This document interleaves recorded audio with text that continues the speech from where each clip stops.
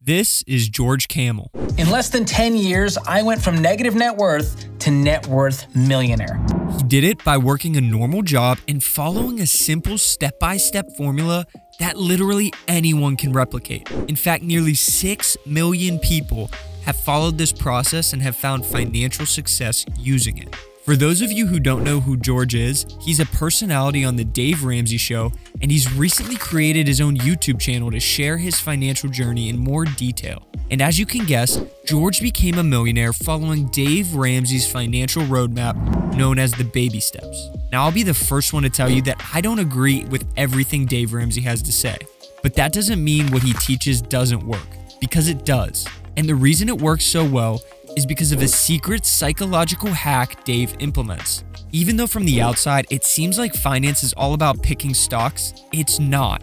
According to Dave, and you have to understand personal finance is 80% behavior, it's only 20% head knowledge. So even if you're like me and disagree with some of Dave's advice, this video will not only change the way you look at Dave Ramsey, but also change the way you look at your personal finances forever. In it, I'm going to break down step by step how George became a millionaire the secret psychological hack Dave uses in his baby step program to turn average people into millionaires, and how even if you don't follow Dave's advice, you can apply his hack in your everyday life. Let's dive in. To understand the psychological hack Dave uses, we have to first understand his baby steps. So let's break down how George became a millionaire in just 10 years. Dave's number one philosophy is that all debt is bad. So to follow the baby steps, you would have to accept this. And that's where George starts. The first thing I did was cut up the all Amex and Discover cards. Now, I know that seems aggressive to physically cut up a card, but aggressive is what it takes if you want to get out of debt quickly. So now that I didn't have credit cards as a false sense of security, I needed to become the Bank of George. So I saved up a thousand bucks super quick and I set it aside to cover those ankle biter emergency expenses. Now, saving a $1,000 is baby step number one. This step should only take you one or two months to complete, and it's Dave's way of keeping people out of any further credit card debt while they work on baby step number two. Now, once I had a thousand bucks saved, I attacked that $4,000 in credit card debt with a vengeance. I'm vengeance. I was willing to do whatever it took to throw as much money as I could at this debt every month. So I started budgeting every single dollar super intentionally. I stopped eating out and wasting money. I was doing side hustles. I was selling stuff. I was flipping stuff. I was driving for Uber and Lyft and taking advantage of every sign on bonus I could get. I was eating lean cuisines instead of steaks. Now, Dave Ramsey suggests tackling your smallest pile of debt first, regardless of interest rates, and working your way up to paying off your largest debt.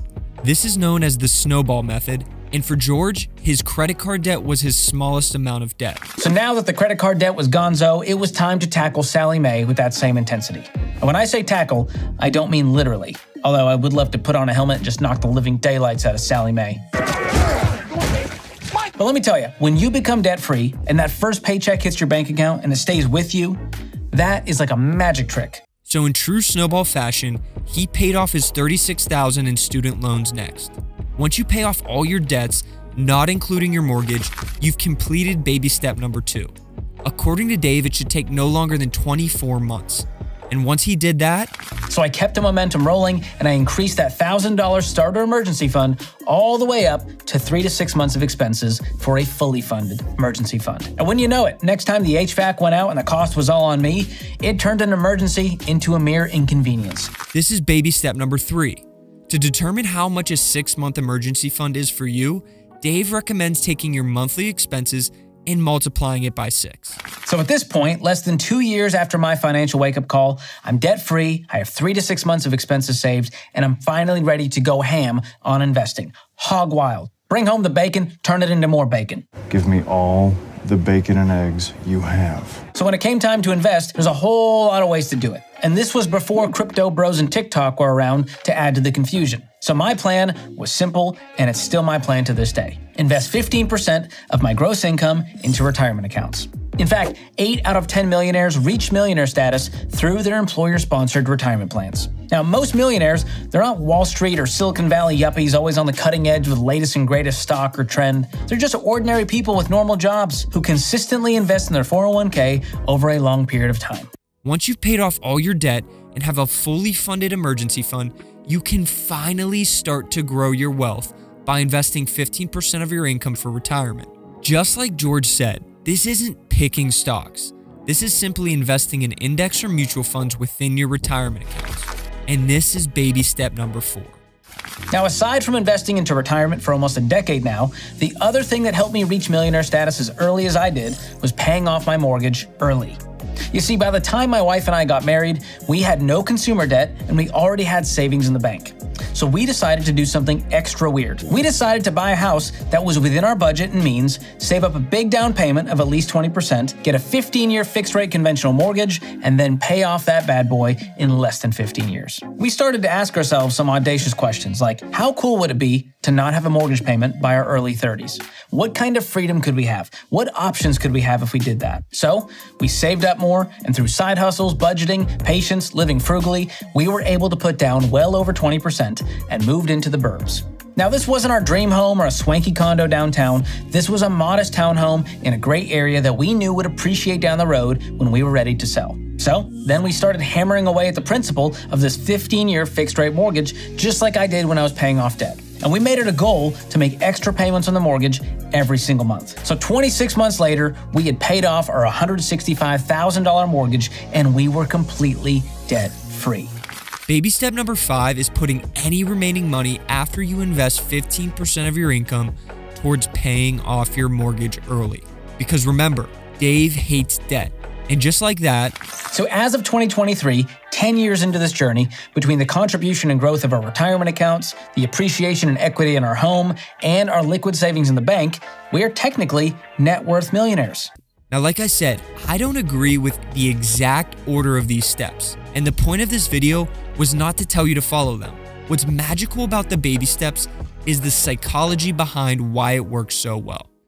To understand the psychology behind the baby steps, we have to understand how it leverages nature's strongest drug. Now, I'm not a psychologist, so I'm going to give you my basic understanding of achieving goals. Just bear with me. When you set out to achieve something ambitious that you've never achieved before, the task itself feels overwhelming. For example, let's say you set a goal for reading 50 books in a year. Now, when you set this goal, you have some level of excitement at the beginning, and so you use that excitement as willpower to help you get started. But when something feels overwhelming, you doubt your ability to achieve it.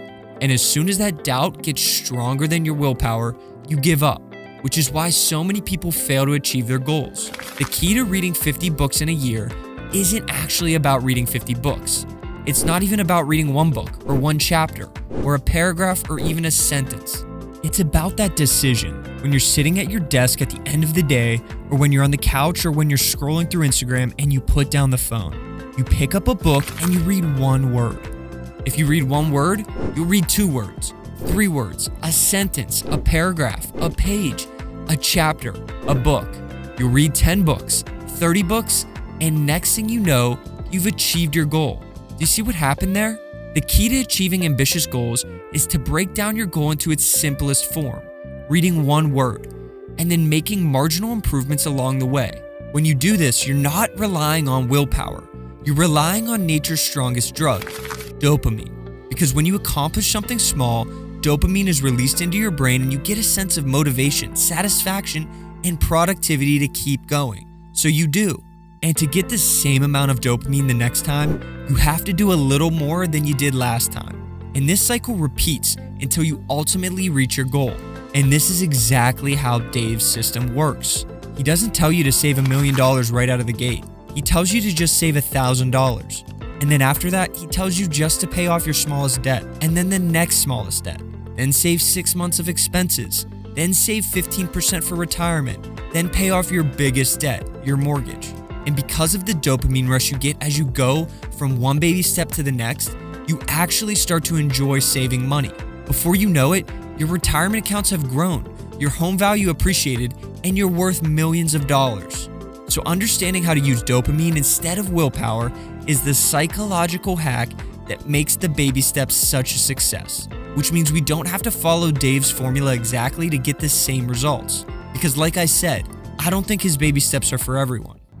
So, how can we apply Dave's psychological hack without following his baby steps? Personal finance was given the name personal for a reason. Everyone has different goals and needs when it comes to money. So, to discover what your exact goals are, ask yourself this question What is the one thing that, if you accomplished it, would put you in a better financial situation by the end of the year? For some, it's actually paying off debt. For some, it could be investing more money. And for some, it could mean finding a higher paying job. Take that goal and break it down into its simplest form.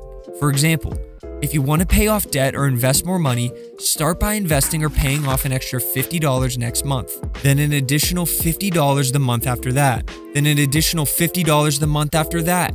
And by the end of the year, you'll be investing or paying off an extra $600 a month than you did the previous year. If you want to make more money in your job, reach out to one person who has the job you want. And then the month after that, reach out to two people. And then the month after that, reach out to three people.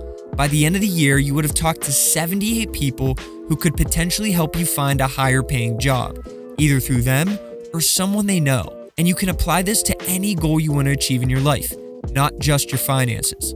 Just like reading 50 books, it's all about starting with one word. The thing is, you now know how to hack your brain into achieving your financial goals. But that doesn't answer this question. Why is getting control over your finances so important? Well, that's why I reviewed Joe Rogan's interview with Dwayne The Rock Johnson. Because even though it's important to know how to save money, it's just as important to understand why you need to save it. So check out this video next if you want to learn how money can give you the ultimate freedom in life.